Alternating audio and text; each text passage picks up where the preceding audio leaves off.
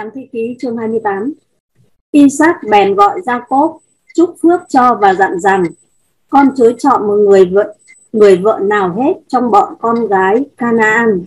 Hãy đứng dậy, đi qua xứ Phadan, Aram, tại nhà Bethuel ông ngoại con, và cưới ở đó một người vợ trong các con gái của La-ban là cậu con.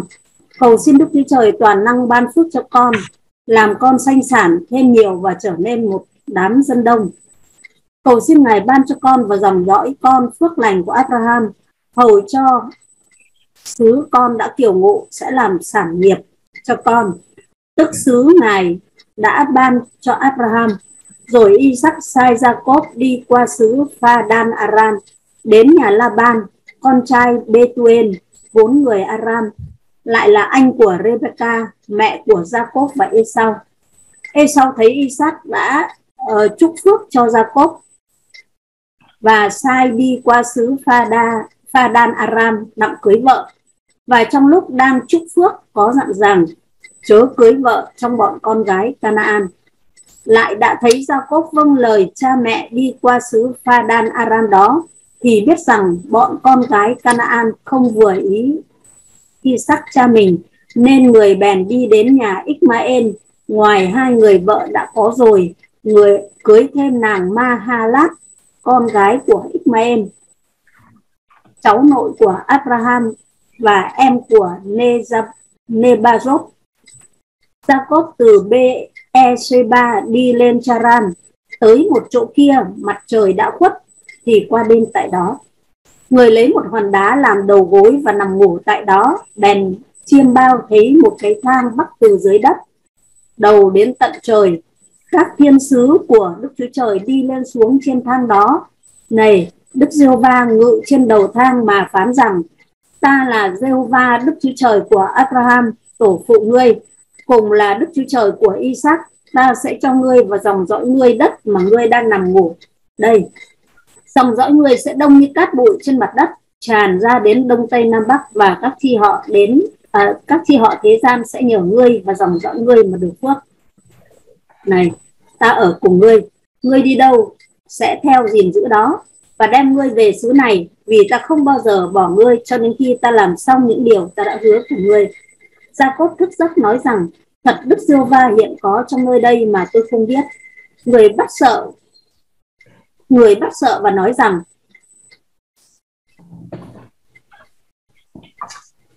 người và nói rằng chốn này đáng kinh khủng thay. Đây thật là đền của đức chúa trời thật là cửa trời. Người dậy sớm lấy hòn đá của mình dùng gối đầu dựng đứng lên làm cây trụ đổ dầu lên trên chóp trụ đó rồi đặt tên chốn này là bê tên. Còn nguyên khi trước khi còn nguyên khi trước tên thành là Lucer. cốp bèn khấn vái rằng nếu Đức Chúa Trời ở cùng tôi, gìn giữ tôi trong lúc tôi đi đường, cho bánh ăn áo mặc và nếu tôi trở về bình an đến nhà cha tôi thì Đức giê va sẽ là Đức Chúa Trời tôi. Hòn đá đã được dựng làm trụ đây sẽ là đền Đức Chúa Trời và tôi sẽ nộp lại cho Ngài một phần mười mọi của sản, mọi của cải mà Ngài đã cho tôi. Amen. Dạ, xin cảm ơn. Chúng ta kết nối cái đoạn 28 với ờ, những cái đoạn trước thì chúng ta nắm rõ được cái tình hình của cái câu chuyện là sau khi Isaac đặt tay để chuyển giao giao ước cho người con thứ là Jacob thì cái đoạn sau này đã bắt đầu có những cái sự thay đổi. Khi đã được tham gia vào trong giao ước rồi thì điều bắt buộc đó là uh, liên quan đến cái vấn đề xây dựng gia đình. Thì uh, Jacob không được lấy vợ người địa phương giống như anh trai của mình và chúng ta thấy cái câu chuyện diễn tiến là ông cụ thể ông sai con đi về quê để lấy vợ và đưa cái người vợ đó trở về cái vùng đất hứa chứ không được là cũng giống như là Isaac đấy tuyệt đối không được trở về quê lấy vợ và ở quê vợ mà mà phải đưa về vùng đất hứa. Không được lấy vợ người địa phương nhưng cũng à, lấy vợ ở quê nhà nhưng cũng không được ở quê nhà lại phải trở về cái vùng đất hứa đó để hoàn thành cái lời hứa của Chúa thì cái việc sai phái ra đi này nó cho thấy rằng là đây là người này đã bắt đầu chính thức tham gia vào trong cái giao ước của Chúa liên quan tới à, người uh, tổ phụ đó là Abraham. Kinh thánh cũng ghi lại cái việc là khi mà Esau thấy bố đã sai cái người con thứ là em trai của mình đi đi trở về quê để lấy vợ thì ông đã có một cái động thái. Đó là gì? Đi uh, lấy vợ trong người nhà của mình ngoài cái người vợ đã có tức là những người Canaan. Và ông biết rằng là cái việc là mình lấy vợ người Canaan là làm cho bố mẹ rất không hài lòng. Cho nên ông đi lấy thêm những người vợ thuộc về anh em ờ, họ hàng của mình. Tuy nhiên chúng ta thấy rằng cái việc làm ở đây ấy, nó đã thấy nó cho thấy một cái chút thay đổi trong cái cách nhìn nhận của Esau. Tuy nhiên nó cũng cho thấy rằng là cái cái con người của Esau ấy từ trước là mặc dù biết giao ước biết được cái chương trình của Chúa trên những người tham gia giáo ước. Nhưng mà Esau thì vẫn đi theo đường riêng của mình vẫn cố tình để lấy vợ người địa phương mặc dù mình biết rằng là cái điều đó đi ngược lại ý muốn của Chúa và nó sẽ dẫn đến sự hủy diệt về sau này. Vậy mà Esau không có màng tới những điều chuyện đó mà chỉ quan tâm tới vấn đề là mình muốn cái gì thôi. Có lẽ rằng những người vợ mà mà mà Esau lấy là những cô gái rất là xinh đẹp. Nhưng mà thực ra thì khi mà về quê lấy vợ thì uh, um, những người vợ của Jacob rồi ngay cả người bố là Isaac cũng là những người rất là xinh đẹp về mặt ngoại hình chứ không phải chỉ là những cô gái địa phương mới là những người xinh đẹp đâu. Nó chỉ nói lên một cái rằng cái con người này tập trung rất là nhiều và đi theo cái ý riêng của mình chứ không phải đi theo uh, những cái tiêu chuẩn của những người tham gia vào giao ước đâu.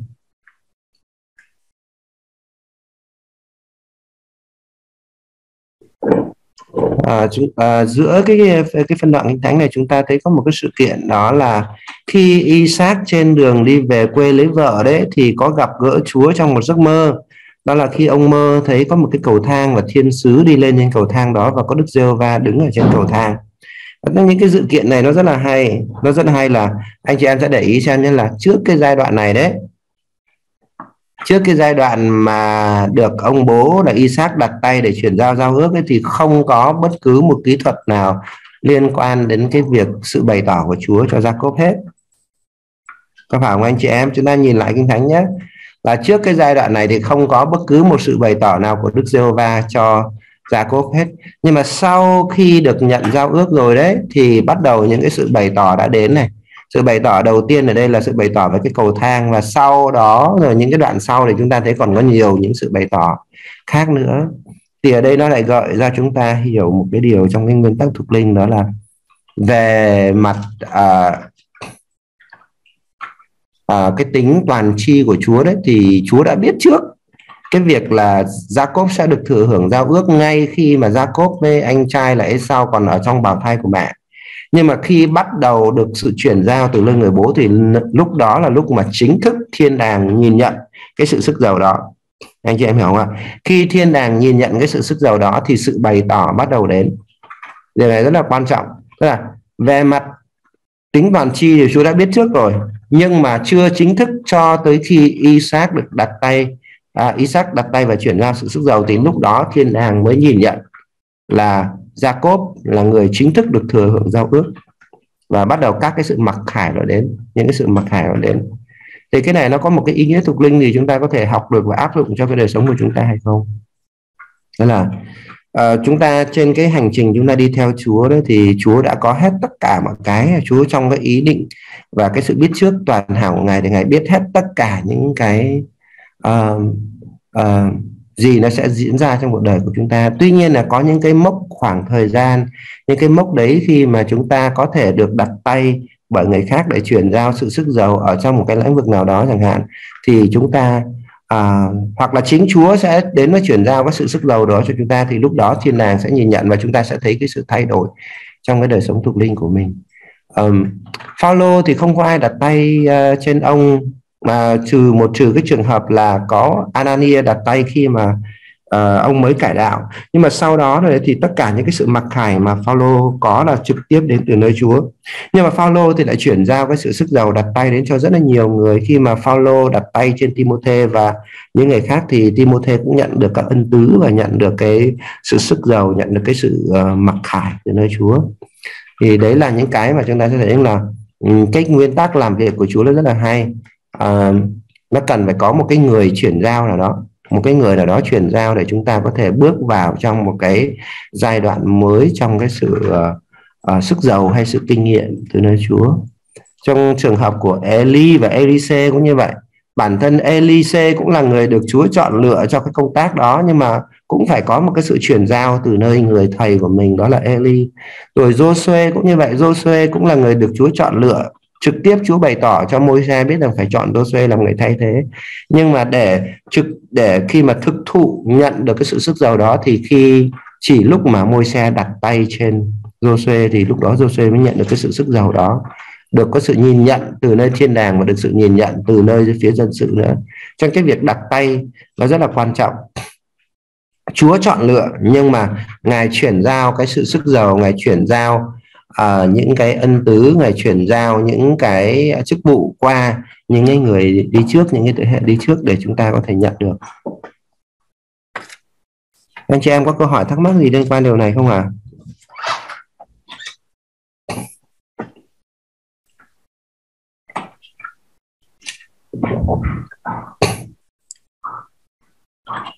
Có những người thì không cần uh, được cái sự đặt tay từ nơi ai nhưng mà cái số lượng đấy thì trên thực tế thì rất là ít. Và phần lớn cái cách thông dụng Chúa làm đó là phải qua cái sự chuyển giao từ nơi người khác anh chị em ạ. Uh, những cái trường hợp được ghi lại trong kinh thánh thì phần lớn là những trường hợp được chuyển giao qua một khâu trung gian là một con người nào đó. Thế còn có một số trường hợp không cần qua trung gian mà Chúa trực tiếp đến để sức giàu cho người đó trong cái công tác của Ngài ấy, thì những trường hợp đấy rất là đặc biệt. Ví dụ như là ông ờ, môi xe cũng như vậy là môi xe là trường hợp đặc biệt này không cần có một ai đặt tay trên ông ấy. Chính Chúa trực tiếp hiện đến và uh, giao cho ông cái trách nhiệm và giao đồng thời giao cái sự sức giàu cho môi xe. Nhưng mà môi xe đến Joshua thì lại khác lại phải có cái sự đặt tay của của môi xe thì Joshua mới chính thức được nhận cái sự sức giàu đó và đồng thời nhận sự nhìn nhận của dân sự. Cho nên là cái số lượng những người mà được Chúa trực tiếp hiện đến và Chúa trực tiếp đến để dạy dỗ uh, phân tích kinh thánh như là môi xe hay là Phaolô là những con số nó sẽ không phải là con số phổ thông. Còn những cái con số phổ thông sẽ là thường là đi qua một cái khâu trung gian nào đó.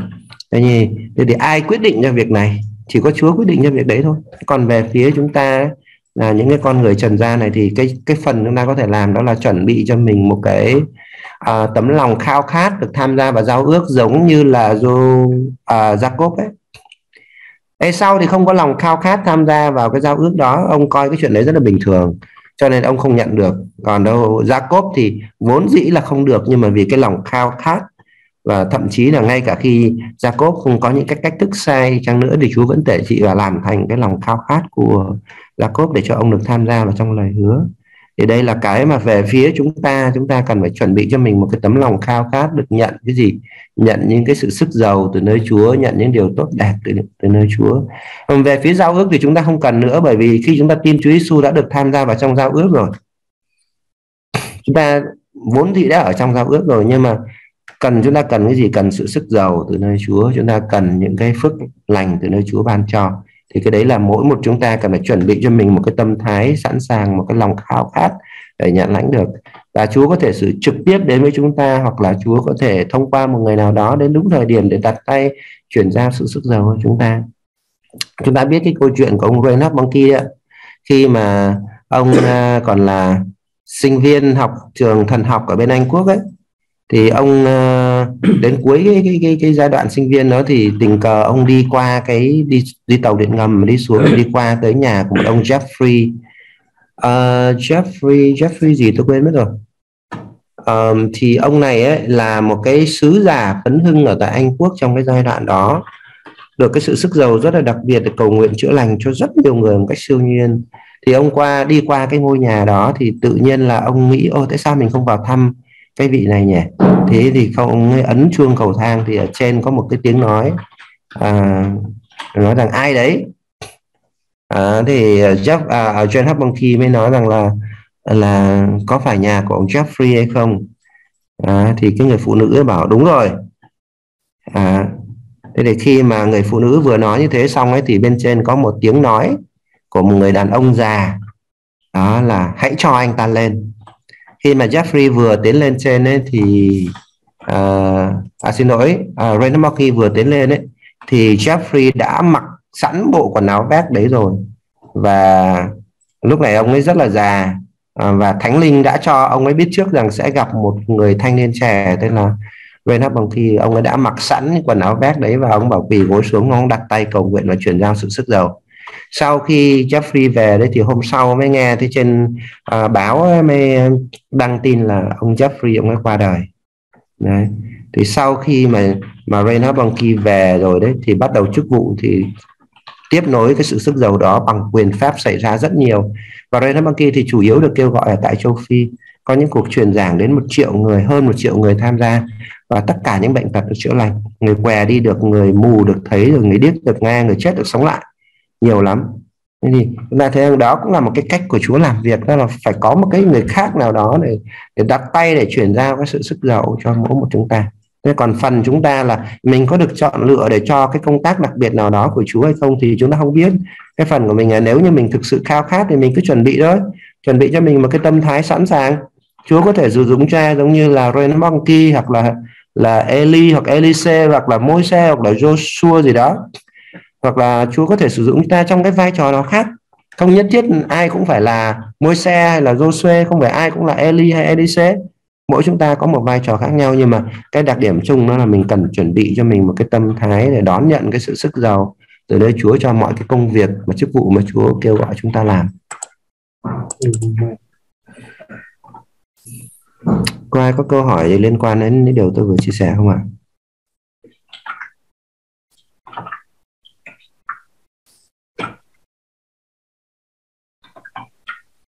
Trong cái giấc mơ này đó, anh chị em nhìn là có cái lời hứa của Chúa dành cho Jacob. Và cái lời hứa này rất giống với cái lời hứa của Abraham. Vậy là để khẳng định rằng là chỉ những người được tham gia vào trong giao ước thì mới có lời hứa này thôi.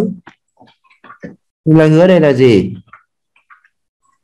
Dòng dõi đông như cát bụi ở trên mặt đất này tràn ra đông tây nam bắc các chi họ thế gian sẽ nhờ ngươi và dòng dõi ngươi mà được phước này. Ngươi đi đâu ta sẽ theo và gìn giữ đó này, đem ngươi về xứ này. Đó. thì những cái lời này là những lời mà Chúa hứa cùng với Abraham đó. Còn đâu những cái những cái lời chúc phước bình thường thì nó không có như vậy. Lời chúc phước bình thường thì nó nó là một cái lời chúc phước ví dụ bảo vệ là làm cho thịnh vượng. Nhưng mà cái lời chúc phước là đông như cát bụi để tràn ra đông tây nam bắc này, các thế các chi họ thế gian sẽ nhờ ngươi mà được phước thì đây là lời hứa Chúa dành cho Abraham. Điều đó chứng tỏ rằng Chúa khẳng định và Chúa nhìn nhận rằng Jacob là người thừa hưởng giao ước, mặc dù Esau là con trưởng nam, là người sinh ra trước. Quý vị hiểu chưa chính Chúa khẳng định điều này nhé. Lúc này là lúc mà Chúa khẳng định thế này. Sau khi mà Isaac đặt tay trên Jacob để chuyển giao cái quyền trưởng nam cho đứa con thứ thì sau khi đặt tay đó thì bắt đầu Chúa nhìn nhận điều đó. Thì đây là một điều rất là hay này. cái việc đặt tay của con người Chúa nhìn nhận. Tuy nhiên là nó nằm ở trong sự sai phái của Chúa chứ không phải là ông cứ đặt tay là là Chúa sẽ nhìn nhận. Nên ngày nay thì tôi thấy rằng là người ta đã lạm dụng cái việc đặt tay. À, sau khi học xong một khóa học nó bắt đầu là xưng ờ, đặt tay để phong chức làm mục sư hay là cái gì đó thì tôi thấy rằng là cái đấy nó có thể uh, trên phương diện con người thì nó có thể được nhìn nhận bởi con người nhưng mà chưa hẳn đã được nhìn nhận bởi Chúa. Bởi vì nếu như sự đặt tay đó không đến từ nơi Chúa thì ngài sẽ không xác nhận. Nếu như thực sự đến từ nơi Chúa thì ngài sẽ xác nhận cho điều này. Và đây kinh thánh nói rằng là Chúa chính Chúa hiện đến mà để xác nhận rằng là người con thú được hưởng quyền của con trưởng được thừa hưởng giao ước. Như vậy Chúa xác nhận phải không ạ?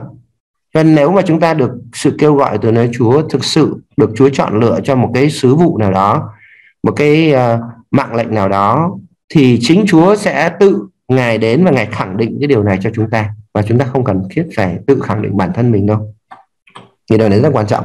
Còn khi mà chúng ta đã không có được uh, sự xác nhận từ nơi Chúa không được sự kêu gọi chọn lựa từ nơi Chúa mà mình cố mình mình mình tự khẳng định bản thân ấy, bằng những cái học vị hay bằng những cái uh, uh, chức danh ấy, thì điều đó nó chẳng có nghĩa gì hết đối với Chúa.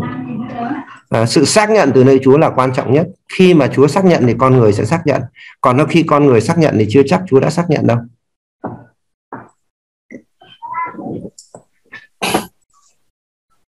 Đây là có một người anh em ở bên Trung Quốc về thì có chia sẻ với tôi có nói rằng là không hiểu tại sao ở Việt Nam phải nắm mục sư đấy ở bên Trung Quốc thì có khi là một uh, chỉ có cả một thành phố nó chỉ có vài mục sư thôi. Mà một mục sư người ta lãnh đạo đến hàng hàng hàng nghìn hàng mấy chục nghìn tín đồ. Ở Việt Nam lắm mục sư lắm. Đâu cũng thấy mục sư. Nhưng mà cái chuyện là mình có làm mục sư hay không làm mục sư hay không không quan trọng. Quan trọng là Chúa có tính chứng thực cho cái chức vụ của mình và sự kêu gọi của mình hay không.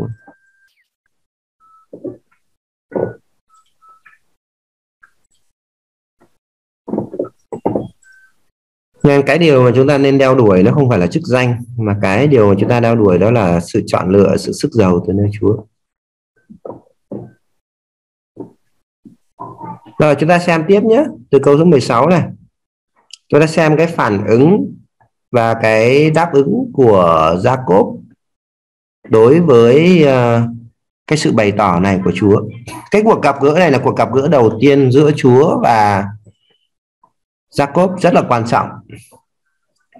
Câu 16 Jacob thức giấc và nói làm sao?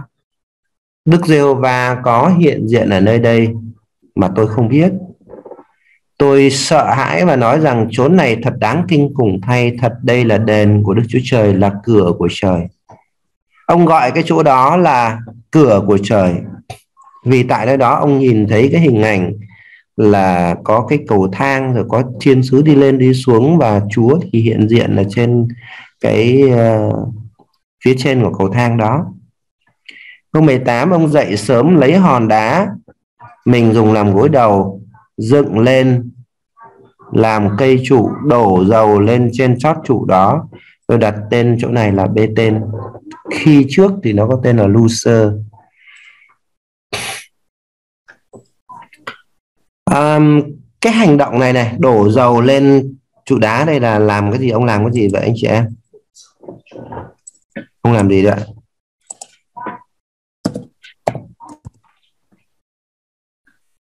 ông làm gì ạ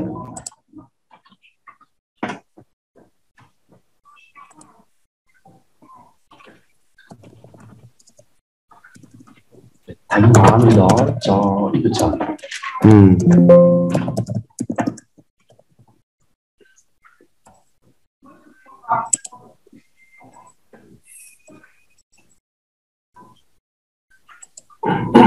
cái hành động đó có phải hành động quen thuộc chúng ta nhìn thấy trong các cái chỗ kinh thánh khác không? Đó là hành động gì? Lập ban thờ. Khi ta lập ban thờ, người ta thường hay lập ban thờ bằng đá nhá, anh chị em nhé bằng đá chứ không có ban thờ bằng gỗ đâu. Trong thời đại cựu ước ấy, tất cả những cái sự thờ phượng, thờ cúng đều bằng cái cái ban thờ bằng đá. Nó là một đá đá nhẵn nhụi. Sau đó thì người ta đổ dầu như nó và người ta có thể để con của, để cái con vật trên đó để đốt nó làm củ lễ thiêu.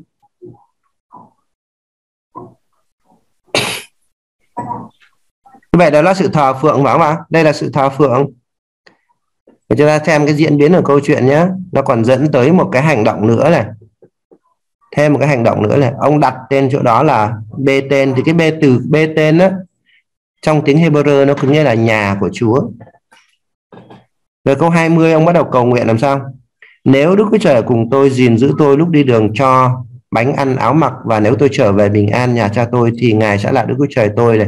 Hòn đá đã dựng, làm trụ đây sẽ là đền Đức Chúa Trời. Và tôi sẽ nộp cho ngài một phần mười mọi của cải ngài sẽ cho tôi. Những cái hành động nào ở đây cho chúng ta thấy rằng là Jacob đang thờ phượng Chúa?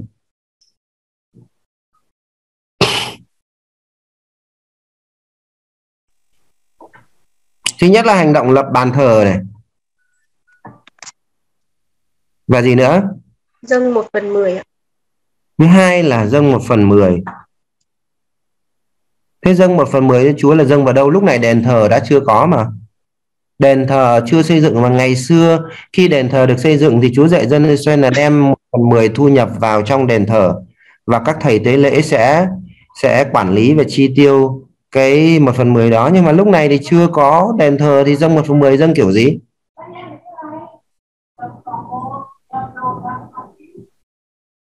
Mà chúng ta biết rằng cái mô hình của việc à, uh, dâng một phần mười đã bắt đầu từ thời nào? Bắt đầu từ đâu thời nào ạ? Từ thời cựu ước ạ.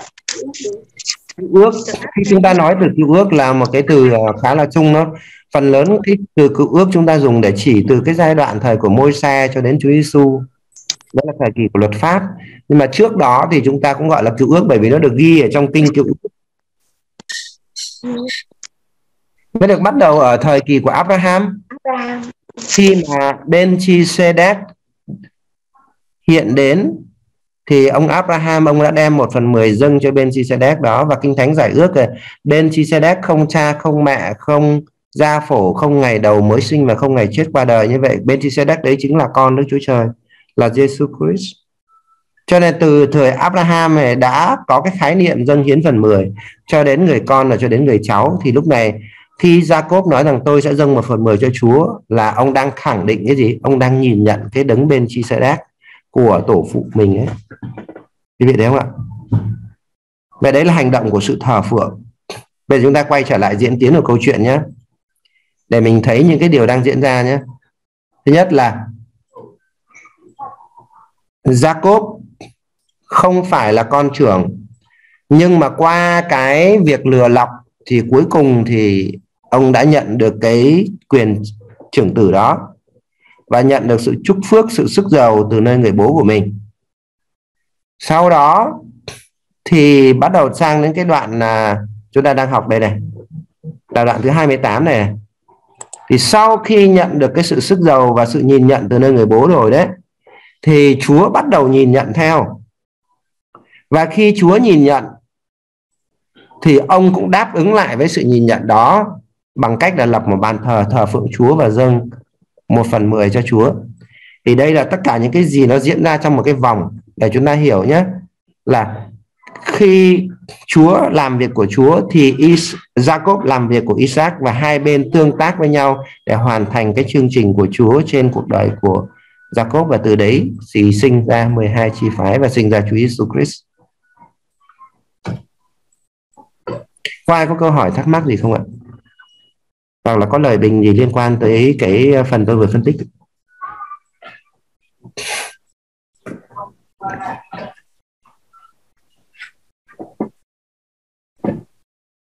Sư ơi xin hỏi một chút, cái phần trước là cái vấn đề đặt tay á, đặt tay sức đầu á, thì làm sao mà biết được ờ, được là cái cái điều gì đến từ Chúa? Làm sao mà xác nhận được là khi mà giống như sư vừa nói đấy học xong một cái chương trình gì đó thì xong là được phong chức ấy được phong chức ấy thì thì bản thân cái người anh cái người mà được phong chức thì làm sao mà biết được cái điều đó đến từ Chúa hay là lòng mình cũng khao khát nhưng mà làm sao được, được biết được cái điều đó thực sự là đến từ Chúa hay không?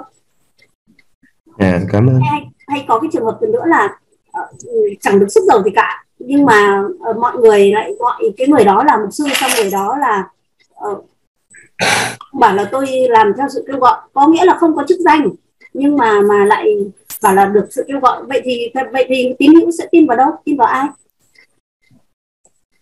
Và làm sao để biết được cái điều gì đến từ Chúa để để làm việc cho nó hiệu quả đấy câu hỏi rất là hay. Đối với người công giáo chắc không bao giờ có câu hỏi này, bởi vì người công giáo thì nó chỉ có một hệ thống thôi nên khi mà bên trên ờ, đặt tay để sức giàu ờ, truyền chức thì không có ai có thể chối cãi được nhưng mà tin lành thì nó hơi phức tạp. Nó nhiều hệ thống quá. Ờ, à, ra xem lời của Paulo. Mọi người nhìn được kinh thánh phần tôi trình chiếu ở trên desktop màn hình đúng không ạ?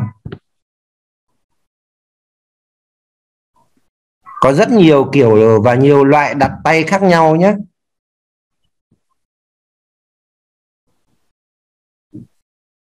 Công vụ đoạn 19 câu 6 thì nói rằng là khi Phaolô đặt tay lên thì có thánh linh giáng trên các môn đồ cho nói tiếng ngoại quốc và lời tiên tri này. Công vụ đoạn 28 câu số 8 này. Phaolô đi thăm người cầu nguyện xong đặt tay lên để chữa lành như vậy là ít nhất là đã có hai loại đặt tay cho ta thấy này đặt tay thứ nhất là chuyển giao cái ân tứ thánh thánh linh này loại đặt tay thứ hai là đặt tay chữa lành này Timote thứ nhất đoạn 4 câu 14 này, đừng bỏ quên ơn ban cho lòng con là bởi lời tiên tri hội trưởng lão đặt tay đã ban cho con. Thì tiên tri các tiên tri đặt tay trên Timothée và Timothée cũng nhận được các ân tứ và đồng thời nhận được các chức vụ nữa. Timothy thứ nhất đoạn 2 câu số 22 thì Phaolô dặn Timothy đừng vội vàng đặt tay trên ai. Đó. Thì cái phép đặt tay này nó mang tính chất là phép truyền chức ấy. Như vậy là ít nhất là chúng ta có biết đến ba loại đặt tay. Thứ nhất là đặt tay để nhận được các cái ân ân tứ, các ân phước của Chúa. À, thánh linh ờ, nói tiếng lạ, nói tiên tri vân vân. Cái loại đặt tay thứ hai là đặt tay trên người bệnh để người ta được lành. Loại thứ thứ ba là đặt tay để truyền chức. Thì cái loại đặt cái loại ân cái loại đặt tay phổ thông nhất mà không cần phải hỏi Chúa đó là đặt tay chữa lành. Vì Chúa đã truyền rằng là chúng ta hãy đi ra đặt tay trên người bệnh để người bệnh được lành.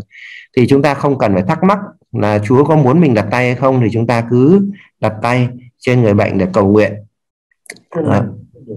là cái loại đặt tay thứ hai là để chuyển giao các ân tứ thánh linh. Và cái loại đặt tay thứ ba là cái loại đặt tay mà chúng ta cần phải cẩn thận. Đây là mà Phaolô dặn Timôthê là hãy cẩn thận đó là đặt tay truyền chức cho người khác. Thì uh, khi mà đặt tay truyền chức thì nó phải có cái sự mặc khải và sự bày tỏ từ nơi Chúa. Còn uh, khi mà tổ chức hay con người đặt tay á thì có làm thế nào để biết được là từ Chúa hay không? Từ Chúa thì sau một thời gian thì chúng ta sẽ biết bởi vì Chúa Giêsu dạy chúng ta là nhìn trái thì biết cây. Nên nếu như anh thực sự được kêu gọi từ nơi Chúa à, có cái chỉ có sự sức giàu từ nơi Chúa thì nó sẽ sản sinh ra bông trái của chức vụ. Còn nếu khi mà nó không sản sinh ra bông trái của chức vụ thì có thể là là Chúa không kêu gọi anh. Và khi Chúa không kêu gọi thì người khác có đặt tay cũng không có nhận được sự sức giàu và thứ hai là chúng ta phải hiểu rằng là cái giàu giàu ở đây nó cũng rất là quan trọng ở cái là mỗi một người có mức độ sức giàu khác nhau. À, anh có mức độ sức giàu ít anh chuyển giao cho người khác thì sẽ nhận được ít. Anh có sự sức giàu nhiều anh sẽ chuyển giao người khác được nhiều. Không biết là cô uh, trả lời đấy nó có giúp uh, cho anh chị em hiểu không ạ?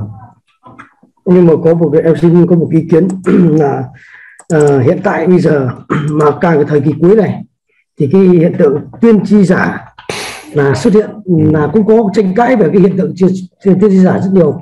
Thế thì bản chất công việc đấy đa phần là xuất phát từ cái việc là ví dụ như là đặt tay chữa lành bệnh là một chuyện nhưng mà quan trọng là đặt tay để chữa để đuổi quỷ ừ. đấy mà tranh cãi nhiều cả cái vấn đề đặt tay chữa đuổi quỷ có nghĩa là là trong cái đức tin uh, tin lành ấy là của, của con cái chúa thì biết rằng là không có những cái lý lẽ nói rằng là uh, không thể dùng ma quỷ để để để đánh đuổi ma quỷ bởi vì ừ. chúng nó tự phá nước nó sao ừ. chẳng thế thì có những câu đại đại thể là như thế để để nói rằng là để nói lên lý lẽ dân rằng là à, cái việc đặt tay để chữa được quỷ đấy tôi đến tôi đến từ cái để mà nhận biết được cái cái cái cái lẽ thật là từ cái thánh linh từ quyền năng của Chúa thông qua cái việc, à, việc đặt tay chữa là đuổi quỷ hay là đến từ ma quỷ. Từ đến từ ma quỷ thì đấy là có sự tranh cãi. Thì với người tin lành của mình thì mình sẽ nói với những lý lẽ như thế. Chẳng nào ma quỷ là à, chẳng chẳng cái cái sự uh, đánh đuổi ma quỷ và đến từ phá tự đó cái cái câu phá. Ừ, đấy là cũng là một cái ờ, ý mở rộng mà mình có thể tham khảo. Thì khi mà mà khi mà một người làm phép lạ hay là đuổi quỷ hay chữa bệnh ấy thì cái quyền phép đấy đến từ đâu đến từ Chúa hay từ ma quỷ thì cũng có những câu kinh thánh để mà chúng ta suy xét là không ai mà vừa nhân danh ta mà vừa chống ta. Chúa Giêsu nói như vậy thế là khi mà người ta nhân danh Đức Chúa Giêsu để đuổi đuổi quỷ thì không thể nói là ngày là quyền đấy là quyền phép của của quỷ Satan được. Bởi vì uh, Satan không bao giờ chống nghịch lại chính nó. Vâng, thế nhưng mà tiên tri giả nhân danh Chúa mà tiên tri giả thì nó cũng có làm phép lạ thế thì cái cái phép lạ đấy làm nào để mình xác nhận được đến từ nơi Chúa hay từ ma quỷ? Có một số cái nguyên tắc là chúng ta đều biết đấy đó là ma quỷ thì không bao giờ tôn vinh Chúa Giêsu đó. Hoặc là lúc có thể là nó nó lừa dối bằng cách là lúc đầu thì nó tôn vinh Chúa Giêsu nhưng mà ẩn đằng sau thì nó là chống nghịch. nó, cài, nó chống nghịch Chúa Giêsu và chống nghịch lẽ thật kiểu gì nó cũng sẽ bị lộ diện ra hết. Tại sao gọi là giả? Giả thì nó giống thật thì mới gọi là giả. Vì nó nó giống thật cho nên dễ làm cho người ta bị uh, lệch lạc bị lừa dối. Thế thì có thể là lúc đầu thì mình chưa nhận diện được nhưng mà không bao giờ là sẽ che đậy được hoàn toàn đâu. Bởi vì uh, chúng ta có Giêsu giả có Giêsu thật và có thánh linh giả có thánh linh thật. Thì thánh những người mà có thánh linh thật sẽ có sự mặc khải từ nơi Chúa và nhận biết điều đó. Và cái yếu tố thứ hai để mình nhận diện đó là xem trái thì biết cây nhìn xem cái kết quả cái đời sống người đó như nào. Và bên cạnh đó thì chúng ta xem thêm là cái uh, uh, nội dung người đó nói và giảng dạy nó có phù hợp với kinh thánh hay không? Dạ vâng. Thế đấy là em xin em xin yeah. xin nói nói nói thêm là để mở rộng thêm cái vấn đề này. Bởi vì cái vấn đề này đây là một vấn đề thời sự đang gây tranh cãi trong cái vấn đề đức tin của các uh, con dân Chúa ở các hội thánh. Thì uh, um, có nghĩa là như thế này hiện tại là hiện tượng mà uh, nhân danh Chúa để trừ quỷ xảy ra rất nhiều ở các hội thánh không chỉ ở tin lành mà cả vấn đề công giáo. Ừ. và người ta cũng căn cứ vào đó người ta bào chữa rằng như này chúng tôi cũng nhân danh Chúa để trừ quỷ. Ừ. thứ hai là tôi cũng chữa lành. Được bệnh nào bệnh những bệnh nhân ví dụ như kể cả là từ ung thư cho đến nghiện ngập ừ. mà trở về với đời sống bình thường. Có nghĩa là được cũng sống yêu thương sống tha thứ yêu thương. Đấy nhẫn nhịn được là tiết độ. Đấy và chúng tôi cũng sống một đời sống ăn chay rồi chúng tôi cũng đặt tay chữa lành và đuổi quỷ cũng nhân danh Chúa Giêsu đó thì cũng nghĩa là chúng tôi cũng không thể mà mà mà mà nhân danh giả mạo Chúa Giêsu để chúng tôi chữa lành đuổi quỷ được hoặc là ừ. chúng tôi cũng không thể tự nhiên chúng tôi không thể mà tự chúng tôi lại dùng chúng tôi nếu chúng tôi là là ma quỷ làm sao mà ừ. chúng tôi lại đi đi đuổi đuổi ma quỷ từ những cái người bị bệnh ừ. đó thì nếu như mà chỉ chỉ dựa vào hai cái câu chung chung là như thế này là à, các ngươi không thể nhân danh à, có nghĩa là để nhận biết được lẽ thật thì có ừ. nghĩa là chúng ta là những người nhân danh Chúa mà trừ quỷ ừ. nhân danh Chúa Giêsu để trừ quỷ đấy là để con cái Chúa nhận biết được lẽ thật đến từ Chúa có nhận biết được quyền năng đến từ Chúa cái thứ hai nữa là cái quyền năng thứ hai nữa là là à, không thể ma quỷ mà lại đi đánh đuổi Satan được ừ. đó thì không thể dùng quyền lực của ma quỷ đi phá vỡ lực phá phá phá phá vỡ cái cái nước của nó sao ừ. thế thì ý em nói là cái nội dung là người ta thường thường có hai câu bảo chữa như thế nhưng thực tế ra thì các cái hội thánh khác và các cái hội thánh mà kể cả từ bên công giáo ừ. hay là công giáo biến biến gọi là bị công giáo sao biến đổi ấy ừ. cụ thể em nói luôn là em chứng kiến em đã từng ở đấy và chứng kiến là cái hội thánh đức à, nhà chúa cha bảo lộc ừ, ừ. người ta cũng dùng người ta cũng nhân danh chúa giêsu trừ quỷ ừ. và người ta chữa bệnh chữa lành bệnh đó người ta thế thì bên bên chính bên công giáo bên cái cái cái, cái hội thánh chính thống ở của bên công giáo ấy ừ. gọi là bên công giáo như mình thì nó khác với hội thánh thiên hành của mình ừ. nhưng mà đại thể là hội thánh bên công giáo là các cha xứ ấy người ta nói rằng là um, cái đạo cái cái hội thánh nhà đức chúa cha này là hội thánh giả đây là ừ. ma quỷ ừ. thế thì người ta lại bào chữa rằng là chúng tôi nếu mà là ma quỷ chúng tôi không tự phá vỡ cái cái cái cái cái cái, cái mà không tự chữa lành bệnh được chẳng hạn ừ. chúng tôi dùng quyền năng của ma quỷ để ừ. đi đánh đuổi ma quỷ sao tôi hiểu ý rồi thứ hai nữa là dạ. về vấn đề chúng tôi cũng nhân danh Chúa mà chúng tôi cũng đọc kinh cầu nguyện Chúa Giêsu ừ. có thể là Chúa Giêsu luôn luôn hàng đêm hàng ngày luôn thế tại sao ông chẳng lý lấy căn, căn cứ gì ông nói là chúng tôi là nhà Chúa Cha là, ừ. Bảo Lộc là nhà nhà ừ. quỷ ừ. còn các ông thì lại là nhà chính thống ừ. trong khi đó cái đạo dòng rồi là đạo các ông ấy thì lại là gì là uh, đọc kinh hàng ngày nhưng mà các ông lại không trừ được um, chữa bệnh lành bệnh ừ. được cho người ta không chữa bệnh rồi là không uh, từ cả cả nghiện ngập cho đến là là là ung thư rồi các thứ. Rồi tôi tôi hiểu rồi. Đây là cái vấn đề mở rộng trong cái bài học của chúng ta. Tuy nhiên là mọi vâng. người quan tâm thì có thể phân tích thêm. Ở đây đó là chúng ta hiểu mà có những người thắc mắc là tại sao thế bên công giáo người ta có đuổi quỷ có cầu nguyện chữa lành được hay không? Hay chỉ có mỗi tin lành mới có thể cầu nguyện đuổi quỷ? Mình làm còn mạnh luôn á. Mình chả bằng. Thì uh, chúng ta nhớ như này là chúng ta đuổi quỷ chữa lành ấy, là trong danh của Đức Chúa Giêsu. Những người nào có Đức Thánh Linh thì người đó đều có thể nhân danh Chúa Giêsu đuổi quỷ và chữa lành và ma quỷ đều sợ hãi. Nhưng mà điều đó không có nghĩa rằng cái người có khả năng đuổi quỷ và chữa lành đấy là người đúng hết tất cả mọi cái. Ví dụ như là bên công giáo, người ta cũng đuổi quỷ chữa lành nhưng không phải tất cả mọi cái, người ta đều đúng. Hay là một ông mục sư nào đó cũng được cái ân tứ chữa lành đuổi quỷ, không có nghĩa là tất cả mọi cái của ông ấy đều đúng hết. Chúng ta phải hiểu là một người có thể có nhiều điểm sai, nhưng khi người đó có đức tin nơi Chúa Giêsu có đức thánh linh, thì người đó có có thể sử dụng uy quyền trong danh của Chúa Giêsu đuổi quỷ. Đó là, chưa nói nó sự sức giàu nhé chỉ nói đến cái uy quyền cơ đốc thôi là người ta đã có khả năng để làm việc đấy rồi. Không cần thiết phải là mục sư hay không cần thiết phải cầu sức giàu đặc biệt gì chúng ta vẫn có thể đuổi quỷ và cầu nguyện chữa lành được. Vì đấy là uy quyền của một người có trong danh Đức Chúa Giêsu đó. Thế cho nên là anh là người công giáo hay là người tin lành hay anh là anh là bất cứ một cái ở trong cái hệ thống tôn giáo nào nhưng mà nếu anh có đức tin à, vào anh ăn năn tội lỗi này anh có đức tin nơi Chúa Giêsu này thì anh nhận được Đức Thánh Linh và anh có thể sử dụng uy quyền trong danh Chúa để đuổi quỷ. Đó. Thì nhưng mà tôi nói lại là không phải anh đuổi quỷ anh chữa lành là tất cả mọi lời anh nói anh đều đúng hết mọi việc làm anh đều đúng hết. Thì chúng ta phân định ở đây là rất rõ là cái việc gì nó ra việc đấy đấy là cái ân tứ Chúa ban cho đó là người có đức tin người ta vận dụng cái uy quyền trong danh của Chúa Giêsu thì người ta có thể sử dụng cái uy quyền trong danh Chúa để cầu nguyện chữa lành và đuổi quỷ. Nhưng mà không phải mọi cái người ta đều đúng hết. Đấy cho nên là công giáo hay tin lành thì cũng vậy thôi. À. đây là vấn đề em cho em xin ờ, ý kiến thêm nữa là đây là vấn đề rất là thời sự hiện tại bây giờ. Ngay đơn giản là bên bên tin lành của mình đó. Ừ. thì các prophet có nghĩa là các cái nhà tiên tiên tri ở trên thế giới này ừ. ngoài uh, tiên tri um, TV Joshua ra hồi xưa người ta cũng nói rằng là ông TV Joshua là một cái ông tiên uh, nhà tiên tri giả à. xong đó đến ông uh, Jochi Jochi, ừ. Jochi cũng là tiên tri giả. Ừ. Sau sau đó người ta thừa nhận là hai ông đấy cũng là hội thánh Emmanuel. Ừ. Emmanuel mà ra thì là đầu là là là, là có cái sự sức rồng của Chúa thật.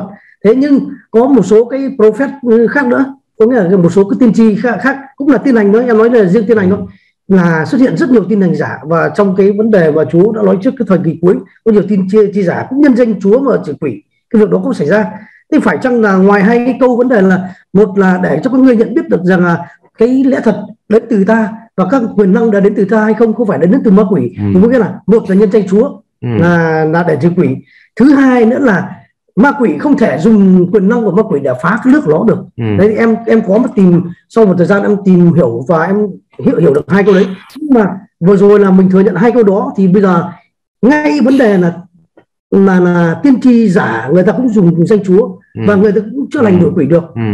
và cái vấn đề ăn ở đời sống sinh hoạt của họ cũng rất là là là, là mang tính chất là, là là cũng rất là giữ đạo ừ.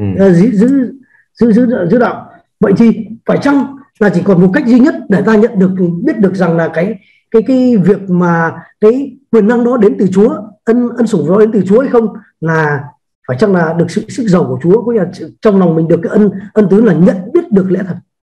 Có nghĩa là mình có được cái cái nhận biết được lẽ thật có tự tự trong lòng mình biết được là à mình cảm nhận được đấy là từ từ Chúa hay không. Chả lẽ tự ở đây cái đấy việc, việc đấy là ở mỗi con người cái ân tứ đấy từ ở mỗi con người hay là mình còn có cái câu nào khác để mình bổ sung thêm là, là, là rằng là biết được rằng quyền năng đấy từ Chúa. Có nghĩa là cái sức sức giàu từ Chúa hay là từ chính Ma quỷ. Bởi vì môi ma quỷ rất tinh vi nó có thể giả danh Chúa này. Rồi là nó có thể chữa lành được quỷ được.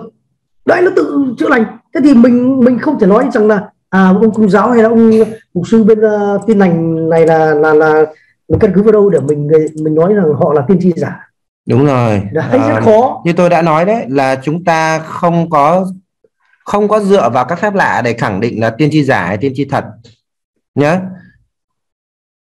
thứ nhất có một số yếu tố như sau. Thứ thứ hai ấy là cái người tiên tri ấy tiên tri thật ấy luôn luôn là tôn cao Chúa Giêsu thì họ luôn tôn tôn cao. Dạ không. Chúng ta sẽ thấy tiên tri giả sẽ không tôn cao Chúa Giêsu nếu mà nó có tôn cao Chúa Giêsu ấy thì nó chỉ là tôn cao à, trong hình thức giả dạng thôi. Để ừ. rồi về sau thì nó sẽ kéo người ta đi ra xa. Cái người tiên tri thật của Chúa luôn luôn tôn cao Chúa Giêsu không có một tiên tri giả nào mà tiên tri chúng ta gọi là từng từ tiên tri giả có nghĩa là tiên tri giả là cái đại sứ của Satan được quỷ Satan nó sức giàu để sai phái đến để phá hủy hội thánh và lừa dối dân sự Chúa. Để gọi tiên tri giả thì không bao giờ nó tôn cao Chúa Giêsu thứ hai, thứ nhất là mình xem người ta có tôn cao Chúa Giêsu hay không. Thứ hai là chúng ta xem cái lời giảng dạy. Nó có phù hợp với các giáo lý của thánh không? Thường thường các tiên tri thật bao giờ cũng khuyến khích người ta lấy kinh thánh để mà soi xét, chứ không có một tiên tri thật nào mà à, bảo các à, mọi người là không cần soi xét kinh thánh và chỉ cần nghe lời tôi không thì là tiên tri giả. Vì tiên tri thật bao giờ cũng hướng người ta đến với kinh thánh và Chúa Giêsu cũng nói rằng khi thánh linh đến thì ngài sẽ dẫn các ngươi vào trong mọi lẽ thật. Ngài sẽ nhắc cho các ngươi nhớ mọi lời mà ta đã phán với các ngươi. Cho nên những tiên tri nào mà dẫn chúng ta đi xa kinh thánh ấy, thì hãy cẩn thận. Đặc điểm thứ ba là chúng ta xem cái đời sống đạo đức. Đời sống đạo đức là một cái yếu tố rất quan trọng để chúng ta xem đấy có một là phản động tiên tri thật hay không. Và cái điểm thứ tư đó là chúng ta xem cái kết quả. Vì Chúa Giêsu nói là nhìn trái thì biết cây mà. Đó. Ngoài cái vấn đề nói đúng ra đó, nói đúng cái vấn đề của họ ra thì chúng ta xem là sau khi một cái thời gian đấy thì bao nhiêu người gần gũi vị tiên tri đó người ta được gây dựng tâm linh, người ta đến gần Chúa hay là đời sống người ta, xa Chúa, người ta à, yêu Chúa hơn hay là người ta rời xa đức tin hơn người ta sống thánh khiết hơn người ta sống hay là người ta sống tội lỗi hơn? Vì ma quỷ chúng ta nhớ rằng đặc điểm của nó là kẻ cướp giết hủy diệt ma quỷ không bao giờ dẫn người ta đến một đời sống gần Chúa không bao giờ dẫn người ta đến một sống đạo đức và ánh sáng hết. Công việc của nó là dẫn người ta vào trong bóng tối. Cho nên nếu như một người tiên tri mà một người tiên tri hoặc một đầy tớ Chúa nào á, mà dẫn người ta đến những đặc điểm này đây là người được sự chọn lựa từ đời Chúa. Còn đâu nếu như người ta không dẫn tín đồ đến những đặc điểm này mà dẫn ngược lại với đặc điểm này ấy, thì là không phải đến từ nơi Chúa. Thì chúng ta lấy những cái tiêu chí đấy ra để chúng ta so sánh để chúng ta suy xét. Nhưng còn đâu à, phép lạ nó liên quan đến sự sức giàu. Có thể một người mới tin Chúa cũng có thể đặt tay sức giàu hay một đứa trẻ con cũng có thể có thể được đặt tay để cầu nguyện chữa lành và đuổi quỷ được. Không cần thiết phải một người tin Chúa lâu năm một người trưởng thành mới có khả năng đó. Khi mà Chúa làm việc thì ai cũng có thể làm được việc này vì đó là ân tứ đó, ân tứ thì nó là quà tặng mà. Quà tặng thì không nhất thiết mà người đó phải trưởng thành để mới nhận được quà tặng đó. Một người chưa trưởng thành vẫn có thể nhận được cái quà tặng cái ân tứ này từ đôi Chúa để cho người ta à, gây dựng cho hội thánh của Chúa. Và một người nhận được ân tứ à, nói tiên tri hay là chữa lành hay đuổi quỷ không có nghĩa người đấy là người trưởng thành. Bởi vì một đứa trẻ con có thể nhận được ân tứ đấy. Và nó vừa nói tiên tri xong nó vừa cầu nguyện đuổi quỷ xong nó đi ra nó chửi bậy nó đánh nhau hay nó nói những cái làm cho người khác tổn thương thì nó là trẻ con mà cho nên ân tứ không đủ khẳng định để cho chúng ta biết là một người có cái sự trưởng thành hay không. Cho đây là những cái giá trị cốt lõi để chúng ta đánh giá một người đến từ nơi Chúa hay không đến từ nơi Chúa. Đó để chúng ta đi hơi xa một chút so với bài học của chúng ta nhưng mà không sao cả nó cũng là cái mà anh em quan tâm liên quan đến cái vấn đề tôi đang phân phân, phân tích ở đây đó là được uh, cái sự chọn lựa và sự chuyển giao sự sức giàu từ nơi Chúa rồi có ai có câu hỏi liên quan đến cái bài học trực tiếp mà tôi đang uh, phân tích ở trong sách sáng thế ký đoạn 28 không ạ?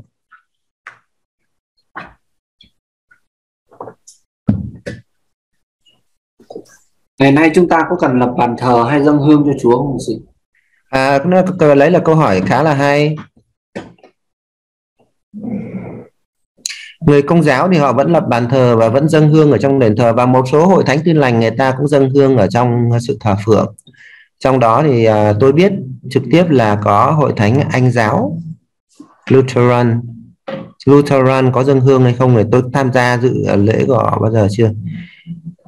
Uh, tôi nói ở Việt Nam ở Việt Nam là có có nhiều cái điểm khác uh, lắm. Ví dụ như là có những cái hội thánh người ta đi gia nhập vào mấy cái giáo phái đó xong người ta vẫn mang xong cái người ta mang cái nét của giáo phái của cái cái, cái, cái giáo cái văn hóa của Việt Nam. Thế còn tôi nói đây là cái cái cái chung ấy. Ví dụ như là anh giáo anh giáo thì người ta có dâng hương trong giờ thờ phượng giống như là hội thánh công giáo. Thì thực ra đó trong đền thờ cựu ước trong một trong những cái nghi lễ mà dân sự phải làm đó là dâng hương. Dâng hương là cái hương thơm ấy để bày tỏ cái lòng tôn kính Chúa. Vì Chúa có dạy cho họ những cái công thức để làm những cái hương thơm riêng trong sự thờ phượng thế còn đâu bây giờ chúng ta có cần phải dâng hương hay không thì cái này nó thuộc về cái quan điểm. Chứ nó không phải là lời Chúa bảo chúng ta phải làm việc này và bảo chúng ta phải làm việc kia. À, vì trong tân ước thì có nói rằng là khi chúng ta thờ phượng Chúa đấy thì đấy là của lễ dâng ơn Chúa có mùi hương thơm rồi. Thì khi mà trong thời kỳ cựu ước ấy, là người ta phải dâng hương người ta có hát thờ phượng nhưng mà trong tân ước thì nói rằng khi chúng ta thờ phượng Chúa chúng ta hát đấy. Thì đó cũng là một cái của lễ dâng lên Chúa có mùi hương thơm. Thế thì một số người tin lành thì lại à, viện vào câu kinh thánh đó thì lại nói rằng là như thế thì mình không cần phải dâng hương vật lý nữa.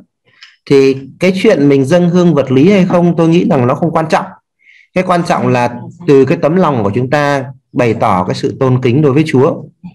Còn đâu nếu như mà mình cảm thấy rằng mình cần phải bày tỏ cái sự tôn kính Chúa bằng cái việc dâng hương thì tôi nghĩ rằng nó tùy mình thôi nó không nó không ảnh hưởng gì hết. Nó không có gì là sai hay là đúng ấy, mà nó là cái lương tâm của mỗi một người để bày tỏ đối với Chúa.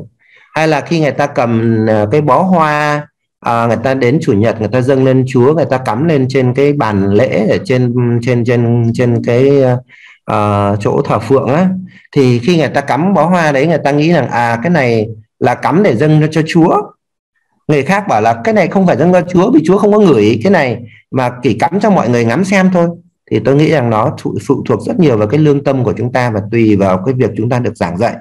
Nếu mà chúng ta được sinh ra ở trong cái giảng dạy mà người ta dạy chúng ta trong hội thánh mà người ta dạy chúng ta rằng mình thờ phượng Chúa không phải chỉ bằng tâm linh mà thờ phượng Chúa bằng cả những cái vật chất nữa thì thì có thể là chúng ta sẽ có cái xu hướng là mình sẽ phải tập trung cho cả những cái việc như là dâng hương hay hoa hay là gì đó lên cho Chúa. Đó. Thế còn cái ban thờ đấy thì cái ban thờ trong thời kỳ cựu ước thì nó là ban thờ bằng đá. Đó, cho nên ngày hôm nay các cái à, nhà thờ công giáo ấy thì cái và cái ban thờ để để bên trên đấy cái bàn thờ lễ đấy đều làm bằng đá hết chỉ có một số những cái trường hợp đặc biệt khi người ta không thể có được đá thì người ta dùng gỗ để mà làm cái bàn thờ lễ ở trên đó. Còn đâu các hội thánh tin lành thì lại không nhấn mạnh cái việc đó vì ờ, hội thánh tin lành cho rằng cái việc đấy nó là thời kỳ cựu ước và nó chỉ là mang tính chất nghĩa bóng thôi, vì cái thân thể mình lại là đền thờ của Chúa rồi, cho nên người ta sẽ tập trung cho cái việc thờ phượng nhiều bằng tâm linh trong tâm linh của mình hát những cái bài ca rồi thờ phượng tâm linh chứ người ta không tập trung nhiều cho cái việc là là phải có một cái bàn thờ bằng đá hay là phải dâng hương hay là dâng hoa hay là thắp nến đó.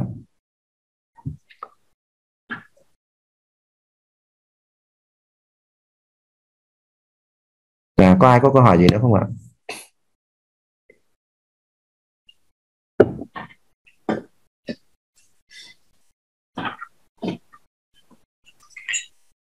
Như vậy tôi tổng kết lại những cái gì mà mình liên kết ở trong cái đoạn uh, thứ 28 này nhé.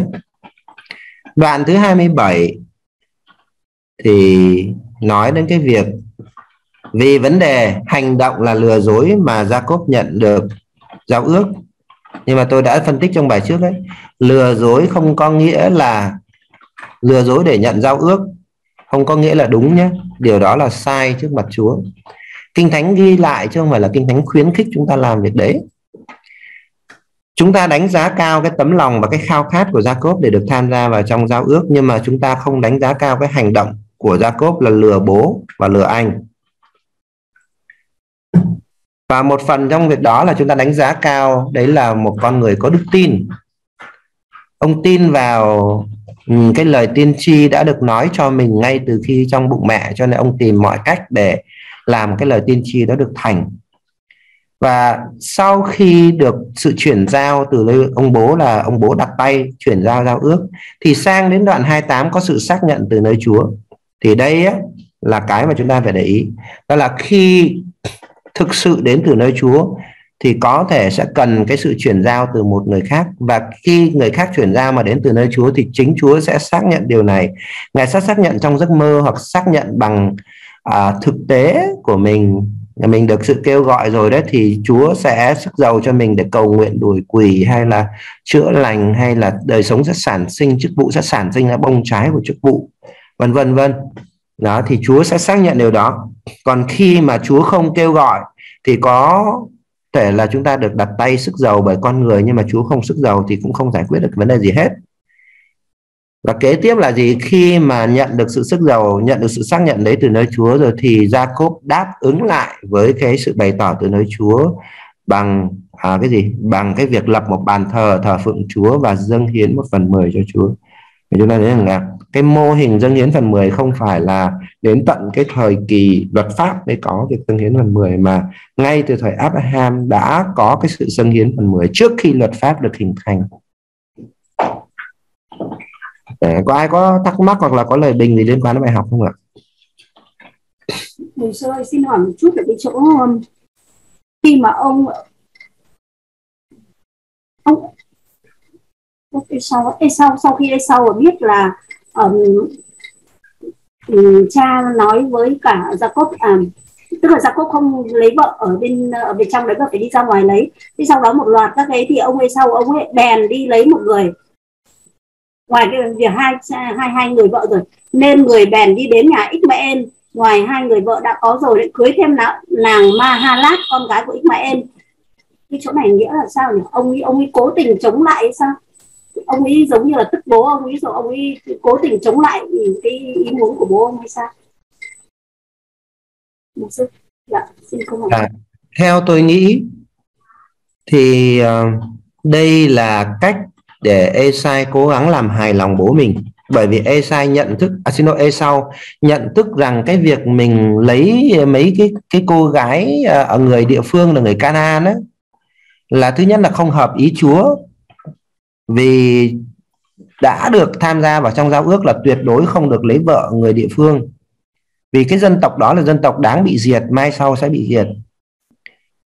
Đó.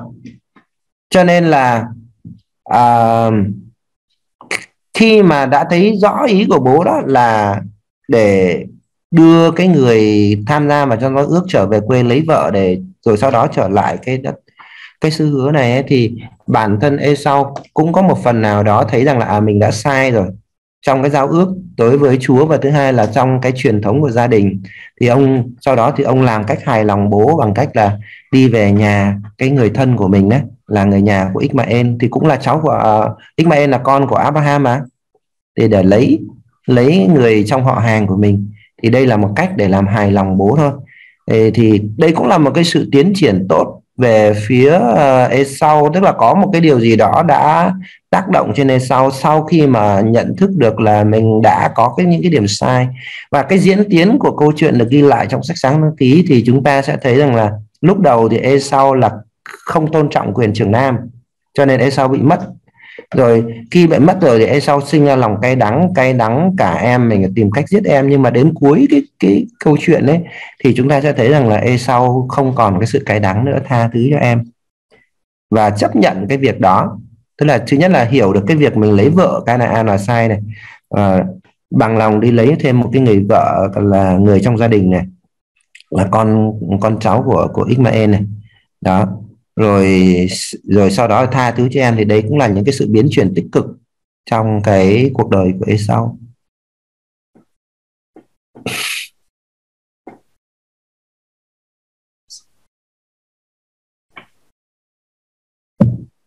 Cái quan trọng nhất khi chúng ta học kinh thánh học lời Chúa đấy, là chúng ta nghe tôi phân tích về kinh thánh để từ đó chúng ta xem là thế thì mình có thể áp dụng như thế nào trong những cái sự kiện đã được diễn ra?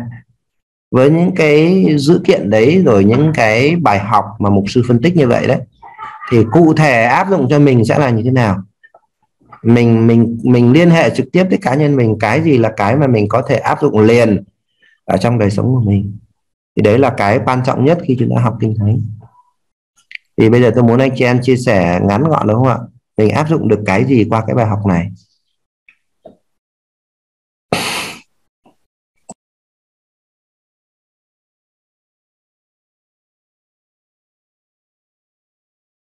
Thì mỗi người sẽ nói cho tôi một điều ngắn gọn thôi nhé. Nói ngắn gọn thôi là tôi học được cái điều này và tôi sẽ áp dụng vào trong đời sống.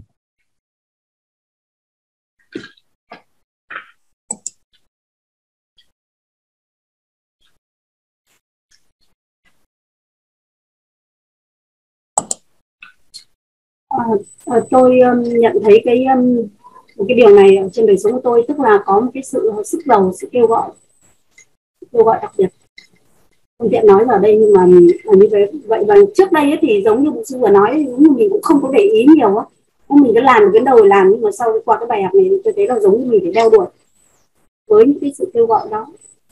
Để Chúa vui lòng và có thấy được những cái cái gọi là bước bước vào cái cái sự sức đầu của Chúa. Để có thể làm được Chúa muốn dạ. Dạ, xin cảm ơn. Xin ờ, một vài người khác nữa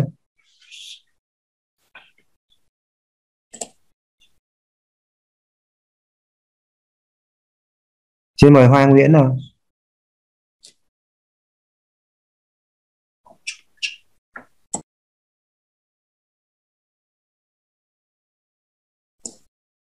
Mời Tuyết Hạnh.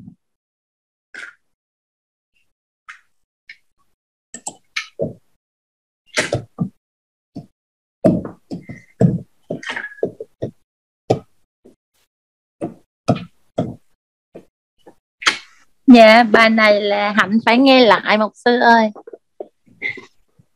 dạ Thì nãy giờ mắt chăm sóc bệnh nhân. à, dạ Ừ, xin Chúa thêm sức cho hai mẹ con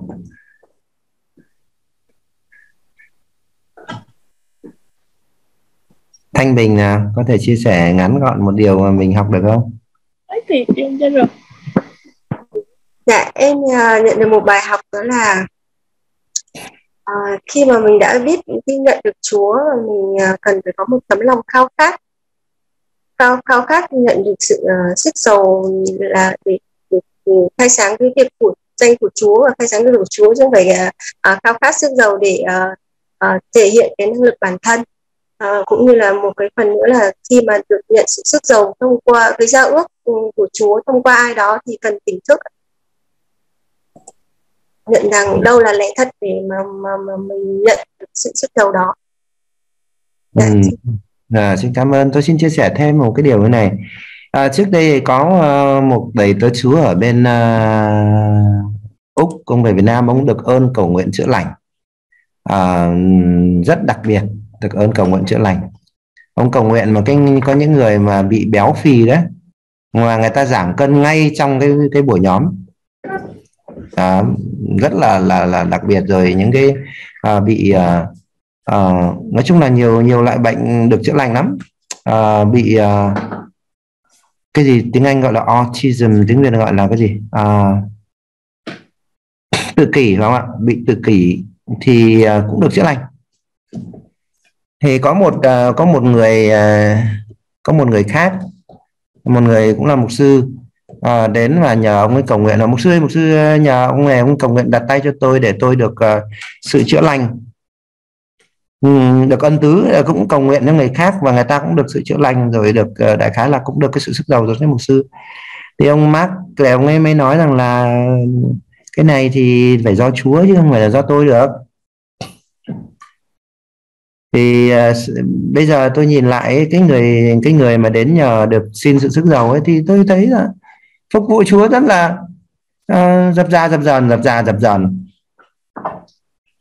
giống như là kiểu như là à, tôi không có nói tên là ai là và anh chị em cũng không cần phải suy đoán là ai. Tôi nói đây chỉ để làm cái minh họa cho bài giảng không không cần phải biết đó là ai. Thì thành ra lại là phán xét. À, dập ra dập dần à, ờ, lửa trong chức vụ lửa không trong chức vụ. Thì tôi mới nghĩ rằng là làm thế làm thế nào mà Chúa có thể sức giàu cho cho cho một người như thế? À, Chúa sẽ sai người khác đến cầu nguyện và đặt tay sức giàu cho mình khi mà mình thực sự là cái người mà à, có một cái động cơ đúng đắn để phục vụ Chúa. Và khi người ta chưa khi mà Chúa chưa xưa ai đến sai ai đến để cầu nguyện sức giàu cho mình ấy, thì mình có phục vụ Chúa hết lòng hay không? Thì nó lại cho thấy một ra một điều rằng là đôi khi chúng ta muốn cái sự sức giàu thì để khoe về bản thân này để cho người khác thấy rằng mình có cái gì đó hơn người hoặc là siêu phàm chứ không phải để phục vụ Chúa hiệu quả hơn. Thì cái động cơ đấy nó là sai trái trước mặt Chúa. Chúng ta phải cẩn thận. Khi mà động cơ mình sai ấy, thì thì Chúa sẽ không có sức giàu của chúng ta đâu. Mà có Chúa có sức giàu thì cái điều đấy nó chỉ hủy diệt chúng ta chứ nó không có đem lại cái điều lợi ích của chúng ta. Cảm ơn Chúa. Chúng ta sẽ dành một phút để cầu nguyện cho bài học ha. Mỗi người chúng ta dành một phút để cầu nguyện. Để ủng hộ cho việc đem lời Chúa đến cho mọi người, ông bà anh chị em hãy bấm like, chia sẻ và bật chuông thông báo để không bỏ lỡ những video tiếp theo.